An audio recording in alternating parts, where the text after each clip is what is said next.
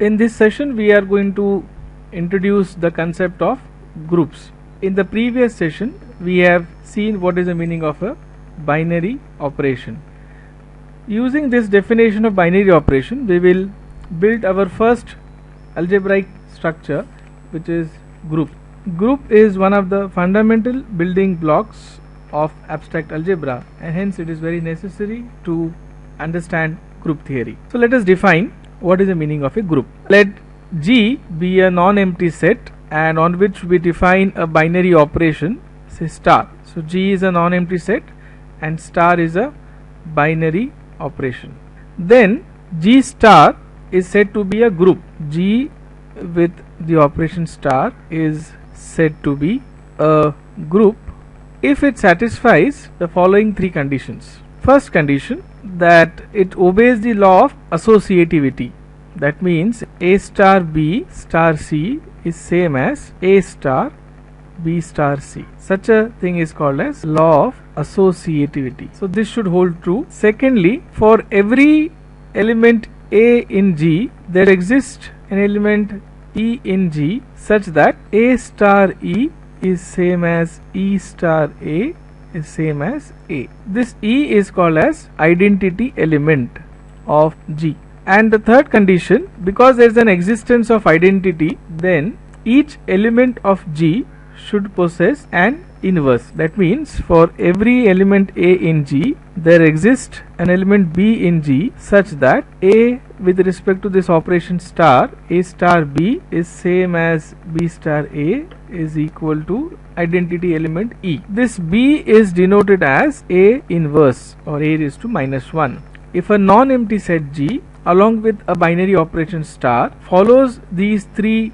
properties then we say that G star is a group. Let us understand this more with some example. Say for example uh, we have the set of integers. Suppose our G is equal to Z and we define the operation the binary operation as addition. Then we know that on the set of integers addition is associative that is a plus b plus c is same as a plus b plus c. So the first property is satisfied here. Now the the second property with respect to this operation plus we have an element 0 in the set of integers such that a plus 0 is same as 0 plus a is equal to a.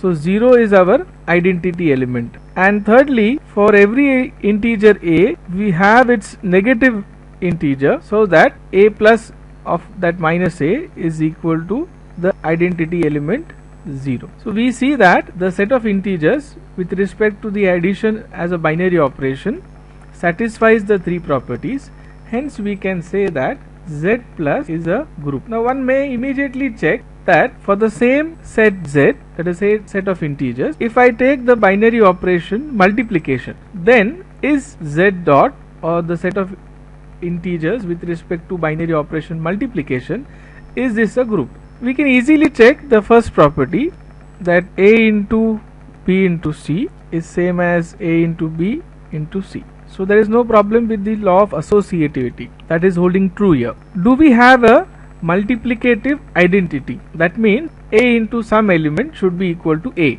So we know that there is an integer 1 such that a into 1 is same as 1 into a is equal to a.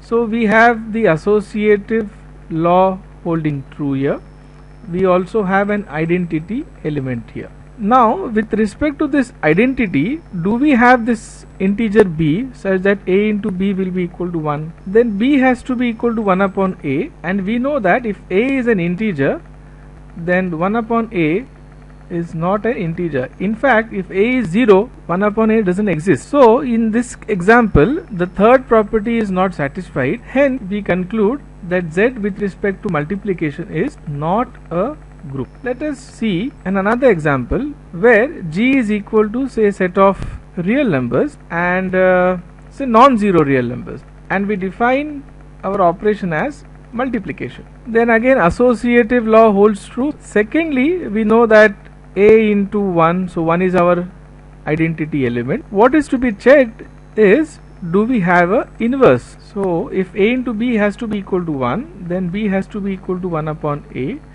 And if a is a non-zero real number then 1 upon a is also a real number.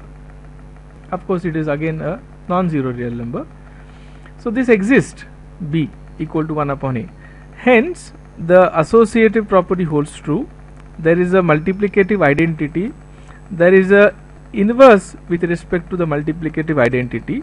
And hence we can say that this set r minus 0 the set of non-zero real numbers with the operation of multiplication this is a group. Let us see one more example. Now we can take here example of uh, matrices so if I take the set of matrices for simplicity we will see 2 by 2 matrices with A B C D all being real entries real numbers. So this is our set G.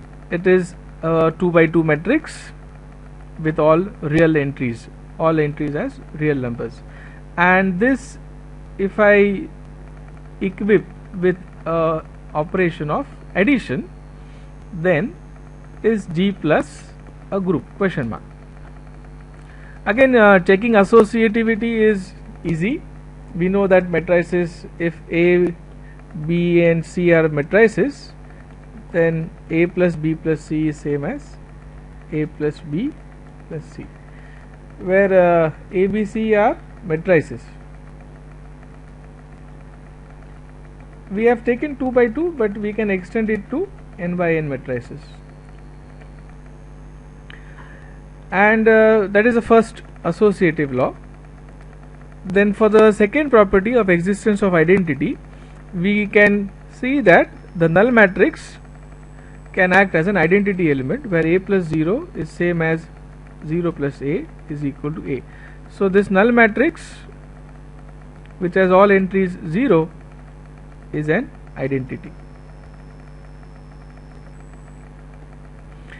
And with respect to this identity and the operation plus for every matrix A we have its negative matrix minus A such that A plus minus A will give, give a null matrix.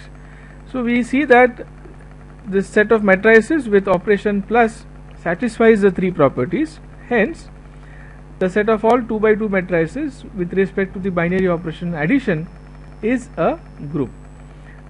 As I said we can extend this 2 by 2 matrix to any n by n matrix in general.